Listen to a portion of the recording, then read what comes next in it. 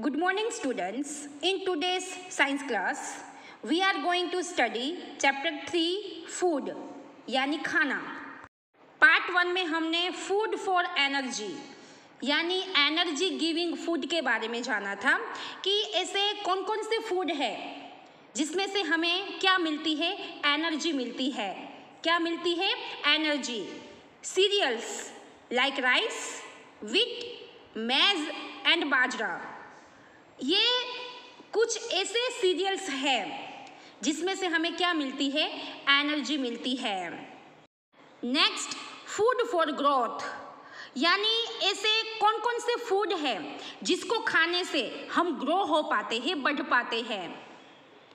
Pulses like dals peas beans and grams ये कुछ ऐसे पल्सिस है जिसको खाने से हम ग्रो हो पाते हैं। तो इसी तरह मीट, यानी मांस, एग्स, फ़िश, मिल्क, ये कुछ ऐसे फ़ूड है जिसको खाने से भी हम ग्रो हो पाते हैं। Next, food for health. Health यानी स्वास्थ्य। हमारे हेल्थ के लिए ऐसे कौन कौन से फ़ूड है जिसको खाने से हम हेल्दी रह पाते हैं। जैसे कि फ्रूट एंड वेजिटेबल्स जिसको खाने से हम हेल्दी रहते हैं। तो यहाँ तक हमने आगे के पार्ट्स में देख लिया है। आज का जो हमारा टॉपिक है, वो है growing food growing food the plants we grow for food are called crops crops यानी फ़सलें। ऐसे प्लांट्स यानी पौधे, जिसको हम खाने के लिए उसको ग्रो करते हैं, यानी उसको उगाते हैं तो ऐसे प्लांट को क्या कहा जाता है? ऐसे प्लांट्स को क्या कहा जाता है? क्रॉप्स कहा जाता है, यानी फ़सलें कहा जाता है। आप लोग पिक्चर में देख सकते हो वीट क्रॉप यानी गेहूँ की फ़सलें। पिक्चर में देख सकते हो वीट क्रॉप यानी गेहूँ की फ़सलें ऐसे प्लांट्स जिसको हम खाने के लिए उसको ग्रो करते हैं, उसको उगाते हैं तो ऐसे प्लांट्स को क्या कहा जाता है? क्रॉप्स कहा जाता है। क्या कहा जाता है? क्रॉप्स यानी फ़सलें पिक्चर में देखिए, ये जो क्रॉप है, वो है राइस क्रॉप राइस क्रॉप यानी जो चावल की फ़सलें होती है, वो एंड ये जो क्रॉप है, वो है मेज क्रॉप मेज क्रॉप क्या है? मेज क्रॉप एंड आप लोग पिक्चर में देख सकते हो, ये जो क्रॉप है, वो है विट क्रॉप विट यानी गेहूँ. क्रॉप यानी फ़सल है, गेहूँ की फ़सल है. यानी जिस प्लांट्स को हम, जो पौधे होते हैं, जिस प्लांट्स को हम खाने के लिए उनको ग्रो करते हैं, यानी उनको उगाते हैं, उसे क्या कहा जाता है? क्रॉप्स कहा जाता है, फ़सलें कहा जाता है। The seeds of different plants are sown at different times different plants यानी जो विभिन्न प्रकार के जो पौधे होते हैं, उनके जो सीड्स यानी जो बीज होते हैं, उनको डिफरेंट टाइम्स यानी अलग अलग समय पर उनको सोन, यानी बोए जाते हैं। जैसे कि wheat crop rice crop maize crop तो ये फ़सलें जो होती है, वो डिफरेंट टाइम्स पर होती है। अलग अलग समय पर ये फ़सलें होती है। कुछ फ़सलें ऐसी होती है जो समर सीज़न में ही होती है। तो कुछ फ़सलें ऐसी होती है जो विंटर सीज़न में होती है एंड कुछ फ़सलें ऐसी होती है जो रेनी सीज़न में होती है। यानी जो फ़सलें जिस सीज़न में होती है, उस सीज़न में उनको, उनके जो सीड्स होते हैं प्लांट्स के जो डिफरेंट प्लांट्स यानी विभिन्न प्रकार के जो पौधे होते हैं, उनके जो सीड्स होते हैं, उनके जो बीज होते हैं, उनको उस टाइम पर बोए जाते हैं। Rice for example is sown in the rainy season जैसे कि राइस क्रॉप राइस क्रॉप यानी जो चावल की फ़सलें होती है वो, चावल की फ़सल। चावल की फ़सल जो है, वो रेनी सीज़न में होती है। कौन सी सीज़न में? रेनी सीज़न में। यानी चावल राइस के जो सीड्स होते हैं, चावल के जो बीज होते हैं, उनको रेनी सीज़न में, रेनी सीज़न यानी बारिश की जो ऋतु होती है वो, बारिश की ऋतु में, राइस के जो सीड्स होते हैं, उनके जो बीज होते हैं, उनको रेनी सीज़न में बोए जाते हैं। राइस क्रॉप यानी जो चावल की फ़सल होती है, वो रेनी सीज़न में ही होती है। इसलिए राइस के जो सीड्स होते हैं राइस के जो बीज होते हैं, उनको रेनी सीज़न में ही बोए जाते हैं। विट इज़ सोन इन ऑटम विट यानी गेहूँ। विट क्रॉप यानी गेहूँ की फ़सल है। आप लोग पिक्चर में देख सकते हो। विट क्रॉप गेहूँ की फ़सल। गेहूँ की फ़सल जो है, वो ऑटम सीज़न में होती है।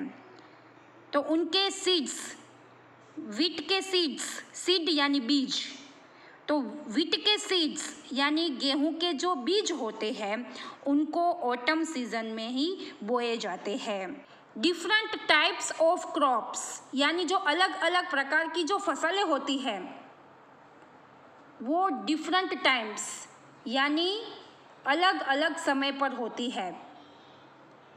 जैसे कि हमने राइस क्रॉप के बारे में देखा विट क्रॉप के बारे में देखा। यानी जिस सीज़न में जिस तरह की फ़सलें होती है तो उनके सीड्स यानी उनके बीज उस सीज़न में बोए जाते हैं। Seeds are sown after ploughing ploughing यानी खेड़ना। ज़मीन को खेड़ते हैं ना, बाद में सीड्स को क्या किया जाता है? बोया जाता है, बीज को बोया जाता है। तो बीज को बोने से पहले ज़मीन को क्या किया जाता है? खेड़ा जाता है। एंड बाद में सीड्स को, यानी जो बीज होते हैं, उनको बोए जाते हैं। When crop plants are ready they are cut and gathered जैसे कि हमने आगे देखा कि डिफरेंट टाइप्स ऑफ़ क्रॉप्स यानी जो अलग अलग प्रकार की जो फ़सलें होती है, वो डिफरेंट टाइम्स यानी अलग अलग टाइम्स पर होती है। तो फ़र्स्ट क्या किया जाता है? उनके जो सीड्स होते हैं, उनके जो बीज होते हैं, उनको ज़मीन के अंदर बोए जाते हैं। फिर वो सीड्स को वाटर यानी पानी मिलता है। उनको सनलाइट मिलती है, सूर्य का प्रकाश सनलाइट मिलती है एंड उनको खाद मिलती है। तो वो सीड्स में से सीड्स जो है, वो प्लांट्स में बदल जाते हैं। एंड जैसे ही दिन बीतते जाते हैं, वो प्लांट्स यानी जो पौधे होते हैं, वो बड़े बड़े बड़े होते जाते हैं। फोर या फिफ्थ मंथ्स तक वो क्रॉप्स रेडी हो जाता है। आप लोग फ़र्स्ट पिक्चर में देख सकते हो, जो बाजरे की फ़सल है। जैसे ही बाजरे की फ़सल रेडी हो जाती है तो उसको क्या किया जाता है? कट किया जाता है। आप लोग देख सकते हो फ़र्स्ट पिक्चर में, बाजरे की फ़सल रेडी हो गई है एंड उसको कट किया जा रहा है। तो जैसे ही फ़सल रेडी हो जाती है तो उसको क्या किया जाता है? कट किया जाता है एंड उसको गैदर्ड यानी इकट्ठा किया जाता है। क्या किया जाता है? इकट्ठा किया जाता है। दिस इज़ कॉल्ड हार्वेस्टिंग यानी क्रॉप प्लांट्स फ़सल के जो प्लांट्स होते हैं, जो पौधे होते हैं, वो जब रेडी हो जाते हैं, तब उनको क्या किया जाता है? कट किया जाता है एंड उसको गैदर्ड यानी इकट्ठा किया जाता है। जब फ़सल रेडी हो जाती है, तब उसको कट किया जाता है एंड उसको गैदर्ड यानी उनको इकट्ठा किया जाता है। तो इस प्रोसेस को क्या कहा जाता है? क्या कहा जाता है? हार्वेस्टिंग क्या कहा जाता है? Harvesting the seeds of cereal plants are separated from the plants and cleaned. Cereals like bajra, wheat maize rice ये सब क्या है? सीरियल्स है। क्या है? सीरियल्स आप लोग फ़र्स्ट पिक्चर में देख सकते हो बाजरे की फ़सल।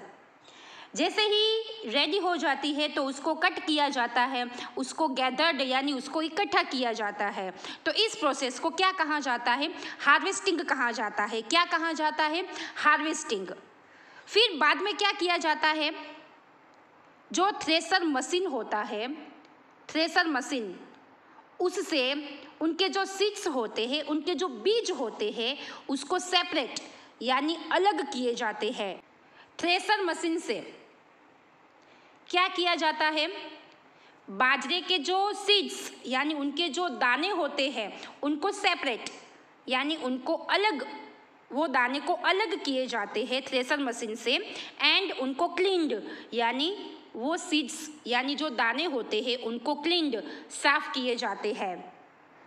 Pulses are seeds which grow inside pods यानी फ्रूट पल्सिस जिसके बारे में हमने आगे देख लिया है।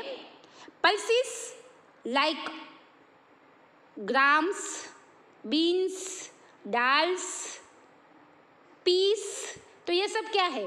पल्सिस है। क्या है?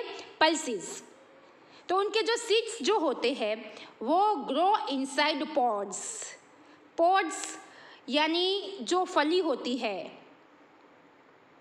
उनके अंदर, उनके सीड्स जो है, वो क्या होते हैं? ग्रो होते हैं.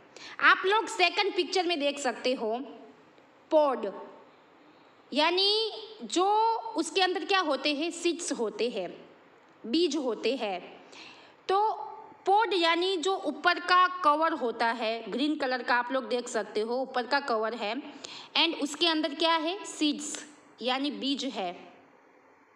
तो जो ऊपर का जो पोड यानी ऊपर की जो फली, ऊपर का जो कवर होता है, उसके अंदर सीड्स जो होते हैं, वो ग्रो होते हैं, यानी वो बड़े होते हैं उसके अंदर। The pods are picked and the seeds taken out जैसे ही पॉट्स के अंदर सीड्स, यानी जो बीज होते हैं, वो रेडी हो जाते हैं तो उसको पिक्ड यानी तोड़ा जाता है। उनके पॉट्स को तोड़े जाते हैं। एंड उसके अंदर से उनके जो सीड्स होते हैं, उनको टेकन आउट यानी बाहर निकाले जाते हैं। The vegetables and fruit are also picked when they are ready.